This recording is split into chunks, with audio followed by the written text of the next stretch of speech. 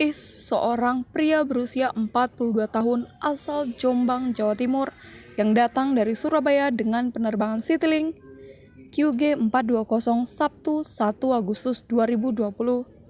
Berdasarkan pemeriksaan swab RT-PCR, diketahui positif COVID-19.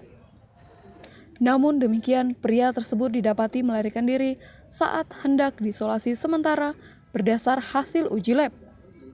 Viral load pria tersebut tinggi, dengan kandungan strain virus yang lebih berbahaya dari strain virus yang ada di Kalbar. Sangat berbahaya bila seseorang kontak dan tertular dari yang bersangkutan. Karena itulah Satgas COVID-19 Kota Pontianak terus mengoptimalkan pencarian dan meminta yang bersangkutan agar segera melaporkan diri ke petugas kesehatan untuk pelaksanaan isolasi. Nah sekarang sedang dicari nih, lagi sedang dicari, uh, bersama Polresta juga dibantu dan kita ngubungin istrinya juga di ada di Jawa Timur ya masih. Nah ini kita juga mohon yang gini-gini ini kadang-kadang yang mereka jadi bikin masalah gitu pak sampai apalagi klaster Jawa Timur kan kita tahu kan cukup tinggi.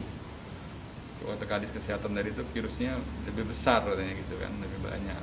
Jadi ini rawan lebih jauh, Edi mengimbau bagi masyarakat yang mengetahui keberadaan pria tersebut agar melapor ke petugas kesehatan setempat atau pihak aparat keamanan. Sementara, bagi penumpang yang bersamaan dengan pesawat yang bersangkutan, agar melapor ke Dinas Kesehatan Kota Pontianak untuk dilakukan pemeriksaan laboratorium.